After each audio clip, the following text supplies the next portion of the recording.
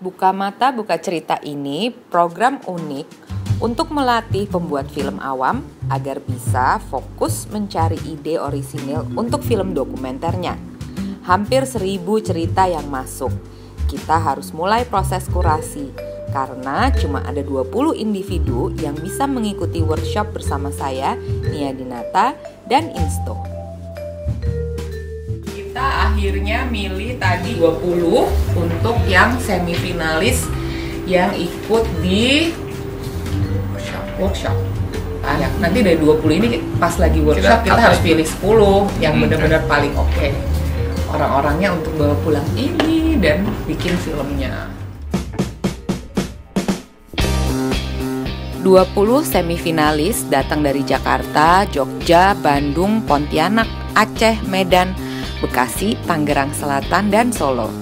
Mereka berkumpul sehari semalam, saling berkenalan dan mengikuti workshop film. Selain belajar teknis dasar menulis dan mengkonsep sebuah film dokumenter pendek, mereka juga diberi ruang untuk langsung mempraktekkan konsep, mempresentasikan ide, dan belajar sinematografi dasar serta gimana caranya menggunakan kamera spectacles yang bentuknya seperti okay. kacamata uh, ini. Sinematografi itu gelap dan terang. Jadi semua rasa, semua gambar, semua visual kalau nggak ada gelap, kalau nggak terang, nggak terlihat, nggak tercapture. Apa sih micro documentary tadi? Cuma dua, film panjang, film pendek.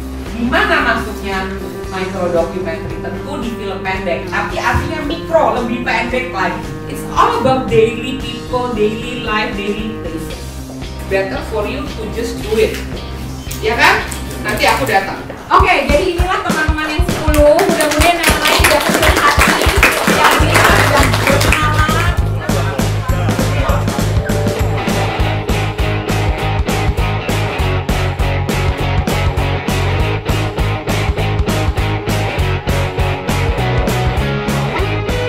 Setelah workshop selesai, para finalis yang terpilih mengirimkan karya mereka yang di-shoot dengan spectacle camera.